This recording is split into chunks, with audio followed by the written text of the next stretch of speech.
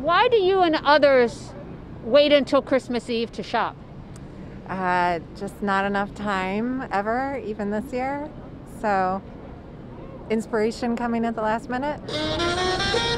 The mad dash is on to find that perfect last minute Christmas gift in a pandemic. Many feeling more comfortable shopping outdoors in a socially distant way at this first ever holiday village at Metro Tech Commons in downtown Brooklyn, featuring Brooklyn based products and mostly female artisans and vendors.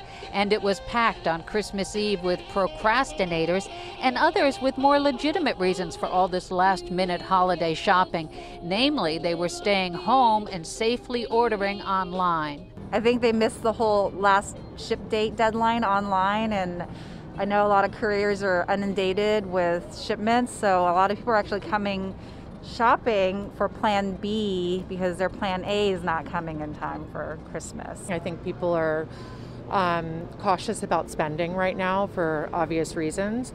We've seen it pick up in the past few days. The official numbers aren't in yet, but the National Retail Federation is expecting sales to be up during this pandemic between 3.6 to 5.2 percent, with the amount being spent between 755 and 766 billion, with online sales growing the most in this pandemic holiday shopping season between 20 and 30 percent.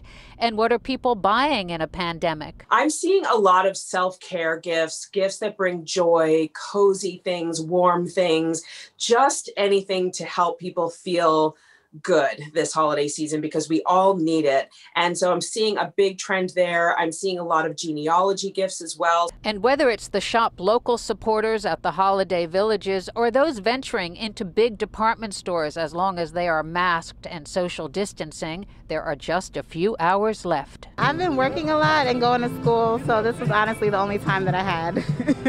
You've got a few hours left. We'll shop all week. yeah, but we're down to the last few minutes.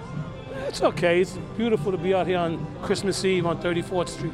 My holiday, being from um, Puerto Rico, actually ends on uh, Three Kings Day, so I have lots of days to still go. So I don't feel guilty. Happy holiday shopping!